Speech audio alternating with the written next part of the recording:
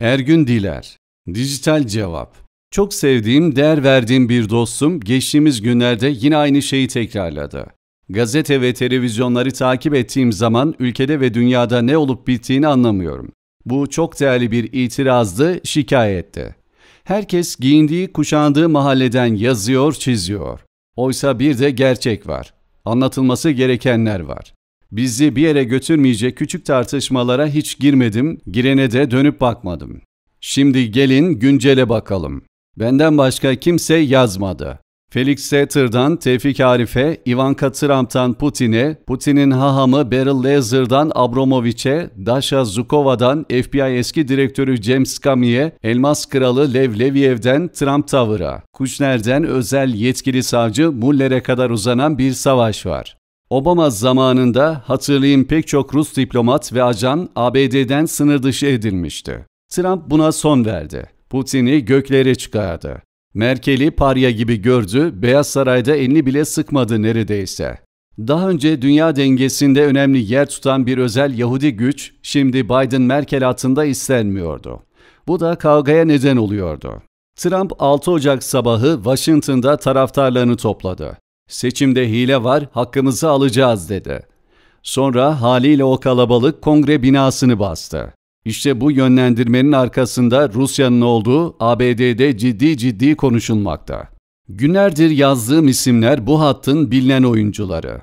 Çok daha fazlası var. ABD derinlerinde bu bilindiği için Biden göreve gelir gelmez karşılık verildi. Artık savaşlar dijitalde. Çağın gerisinde değil ilerisindeydi. Hem kongre baskınına cevap verilecek hem de Putin'i sarsacak adım atılmalıydı. Biden'ın gelişine en çok sevinen lider olan Merkel de hazırdı. Uçakta zehirlenen muhalif lider Alexei Navalny bu nedenle Rusya'ya yollandı. Burada gözlerden kaçan önemli bir nokta vardı. Ekonomi sınıfında uçarak Moskova'ya gelen bir muhalif sahnedeydi. Nasıl 1917 Bolşevik devrimi Rusya'ya trenle gelen Lenin tarafından gerçekleşiyorsa Navalny ile de aynı sonucu almak istiyorlardı. Amaç buydu. Nasıl Lenin Almanların desteğiyle Avrupa'dan geliyorsa aynısı şimdi Alexei Navalny için de geçerliydi. Ancak çağda şartlar da değişmişti. ABD ordusunun en büyük gücü olan YouTube hemen devreye girdi. Biden Beyaz Saray'a gelir gelmez Almanya üzerinden yaşayan hat canlandı. Navalny kendini parçalasa birkaç bin taraftar bulamayacakken bir videoyla 70 milyonu aşan gönüllü buldu. En azından Putin muhalifi kitleyi bir şemsiye altında topladı. Bu savaşın geldiği son aşamaydı.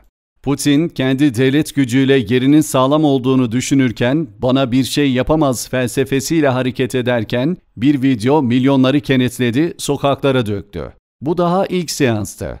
Trump 2016'da seçimle Beyaz Saray'a gelirken arkada Rusya seçimlere karıştı sonucu belirledi iddiası vardı.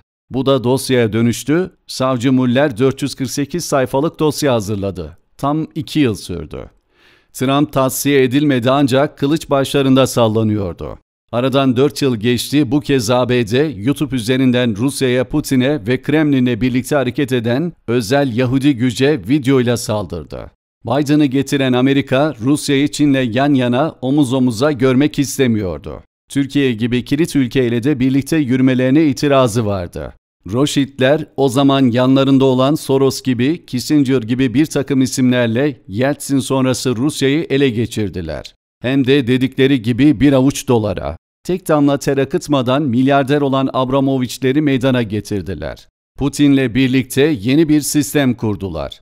Bu piramidin bir ayağı Kremlin ise diğer ayağı Beyaz Saray'dı. Türkiye kendi iradesiyle Rusya ile bazı konularda bir araya geldi. İşte bu Washington-Berlin hattı için büyük rahatsızlıktı. Çin'den kopmasını istedikleri bir güce Türkiye gibi kilit bir ülkenin omuz vermesi istenmiyordu. Daha önce defalarca yazdığım gibi ilk hedef Rusya olacaktı. Biden'la bu tansiyonu artırarak devam edecekti. Biden Beyaz Saray'da bulunduğu sürece Putin asla ve kat'a rahat edemeyecekti. Putin kendini bu kadar güvende hissederken bir saray, bir kumarhane, bir servet gündeme getirildi ve ülkeyi içten sarstı. Bunların doğru olması da gerekmiyordu, şart da değildi. Önemli olan ABD'nin dijital askerliğinin ne söylediğiydi. Washington-Berlin hattı da bize reformları geciktirmeyin, gerekeni hızlıca yapın mesajı vermekte. Rusya'dan ayırarak farklı olduğumuzu görmek istemekteler çünkü.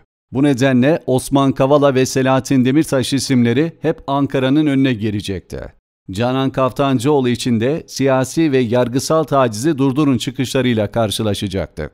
Avrupa Birliği tüm kanallardan Kavala Demirtaş için baskı kuracaktı net. Zaten kurmakta. Bu Türkiye'nin dünyadaki yeriyle ilgiliydi. Hem reformları talep ediyorlar hem de eğer olmazsa ekonomik ve Navalny benzeri olayların önünü açacaklarını işaret ediyorlardı. Gizledikleri bir şey de yoktu. İçeri baktığımızda ise AK Parti'nin yarı başında olan her konuda destek atan bir MHP vardı. Bahçeli vardı. Ancak Avrupa ülkücüleri sudan sebeplerle kara listeye alarak tavrını göstermişti.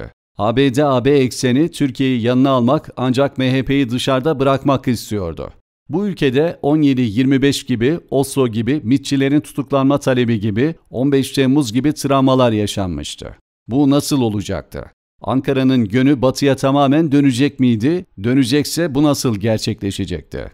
Putin'i vururlarken bize seçiminizi yapın diyeceklerdi, zorlayacaklardı. İttifakların gündeme gelmesi de yenilik hareketleri de bir denge arayışında olduğumuzun göstergesi.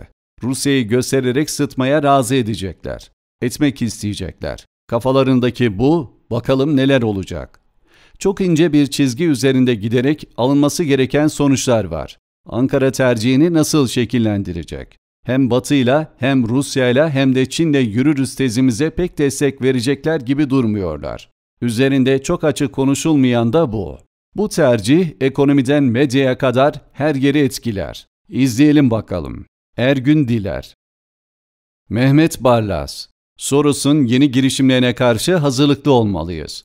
MHP Genel Başkanı Devlet Bahçeli, Türk siyasetinin vicdan sesi olmayı sürdürüyor. Partisinin meclis grup toplantısında yine en hassas ve en önemli noktalara ilişkin uyarılarda bulundu.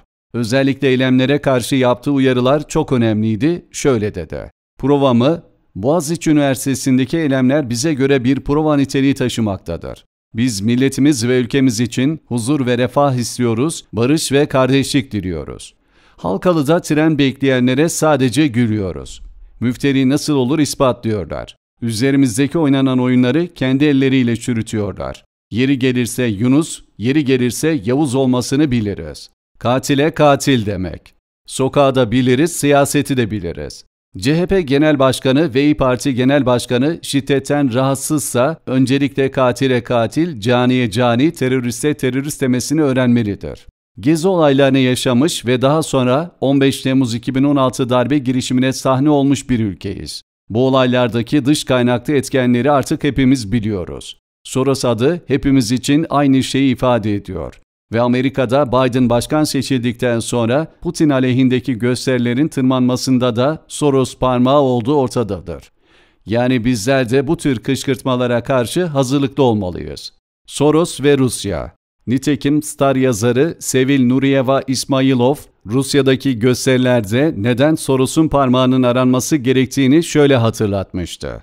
Şimdi olayın başka tarafına bakalım. Rusya'da muhalif aktivist Navalny'nin uzun zamandır Soros fonu tarafından fonlanmakta olduğu biliniyor. Kardeşine ait hukuk, danışmanlık, avukatlık firması seçimlerde bile Soros tarafından para transferi yapılan kurum olarak gündeme düştü.